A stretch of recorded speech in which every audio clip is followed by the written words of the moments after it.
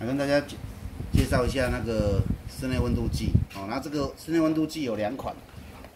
好，这两款呢，其中一个一款叫做 HTC 一，另外一款叫做 HTC 二。好，那这两款呢都是室内温度计，但是呢，我们看这两款的表面，哦，你会发现说表面好像是一样，其实那不是。其实它它这个部分呢，只是说这个温度计上面它有贴了一个类似液晶显示的膜，这边有贴了一个膜。那 HTC One 跟 HTC Two 呢都贴了同样的膜，所以你会发现看起来是一样的，但是其实它是不一样的哦。我们实际上来做一个操作。那我先讲解一下 HTC One 跟 HTC Two 它们最大的不同。最大的不同就是说，HTC One 它只有本身只有一个温度显示，哦，好比说你贴在室内的时候，它就显示温度几度啊，湿度是多少，哦，它就是只有一个单一的温度显示，哦，然后装的是电池。那 HTC Two 呢，这个面你就不要看它，它事实上它的面会分成两两个数字的，一个室内，一个室外，一个相对湿度。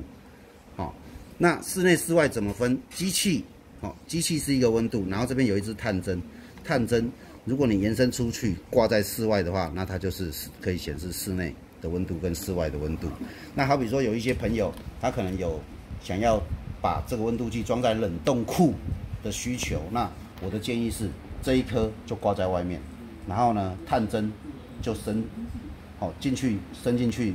固定在冷库冷冻库里面，它就可以侦测到冷控冷冻库里面的温度，然后呢，跟室外的温度。好，那我们直接来装电池，好，然后让大家看一下。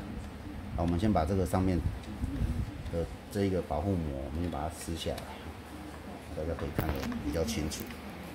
这边这边上面会有一有一层膜。好，这边这一层膜哈，我们把它撕下来。哦，撕下来它就是一个干净的液晶面，这层先把它贴在这上面。好，这个是 HTC 一的，那装的电池呢？这个应该是四号的吧？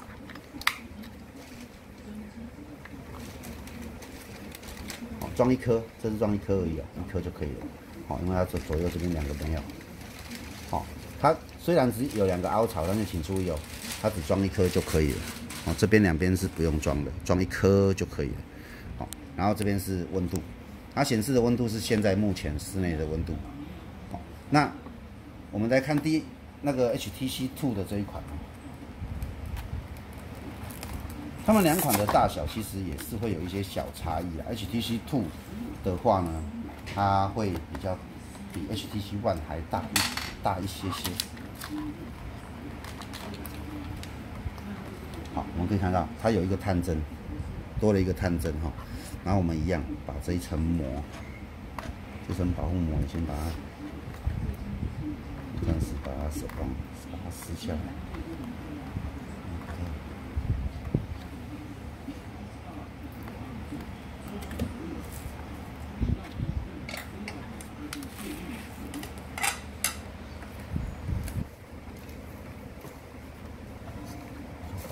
我避免要避免它伤到它的衣襟它这边有一层薄膜。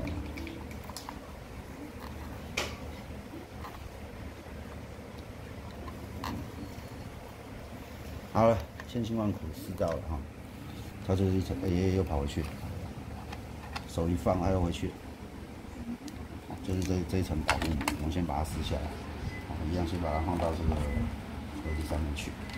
好，请注意看哦，它们两个不一样的就是说它有三格线，哦，三格线很明显。那装电池的部分呢，我们一样打开，哦，它也一样都是装一颗电池而已。哦，装上去之后呢，好，请大家注意看，它目前这样子，它显示两个温度，哦，一个是 in，一个是 out。in 是室内温度，就是这一台的温度；out 就是室外的温度，就是这一根棒子的温度。啊，好比说你用，你可以要测试的话很简单，你可以用个热水把这根棒子放进去，然后这个温度就会做变化。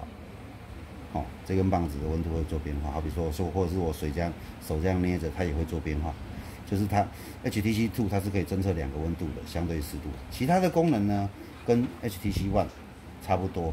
好，那有一些客客户都会问说，这两款到底差在哪里？哈，所以我们就特别录了这个影片做介绍。其实呢，都是温度计，但是它可以同时间测室内跟室外，哦，或者是你也可以把它当成它就它可以测两个空间的温度就对了，两个空间显示，一个是主机主体，一个是棒子，哦，这是两个空间的显示温度显示这样子。好，那。这一款的商品介绍就到这里，好，那后面的电池安装其实盖子就是直接这样盖上去就可以，好，这样子盖上去就可以了。好，那介绍到这里，感谢大家，拜拜。